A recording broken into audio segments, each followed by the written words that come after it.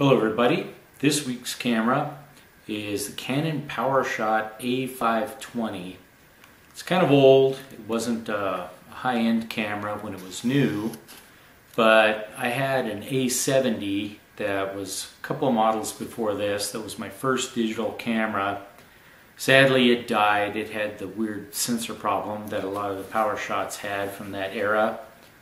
And this one, I was able to borrow it, so close enough.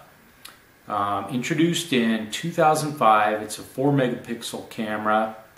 Shutter goes from 15 seconds to 1 2000th of a second. Um, the lens goes from 5.8 to 23.2 millimeters.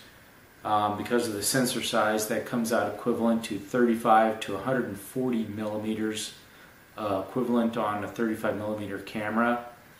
Um, it's fairly bright, uh, f2.6 at its widest, uh, f5.5 at uh, max zoom.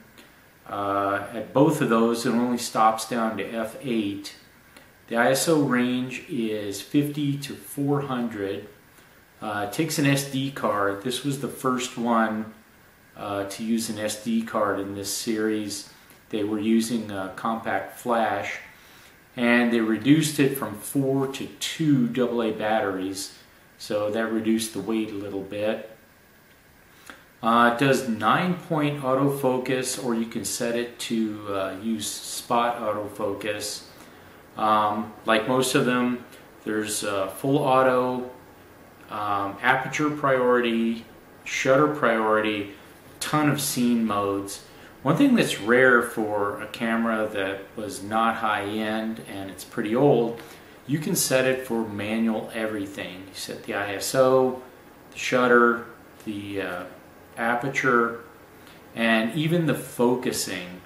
Um, it brings up a little uh, zoom area here, and you use the uh, the the tele to adjust the, uh, the manual focus. Um, it'll also do spot metering, which is kind of nice. Um, it only has a histogram on playback, um, but that's still useful. You know, you can pull up the shot that you did, kind of chimp it a little bit, adjust your settings. So even that's kind of nice. Um, it's the Digic 1 processor, so you can't hack it using CHDK, whatever that was, Canon Hack Development Kit. Um, the flash has auto on off, red eye, slow sync for if you're using uh, like a city backlight for a portrait. It's zoom linked, which is nice, so it changes the guide number depending on how you have the lens. Uh, it's 3.5 meters at widest and 2.2 at max tele. Both of those, they're given, they say it's at auto ISO, so I don't know what the film speed that is equivalent to.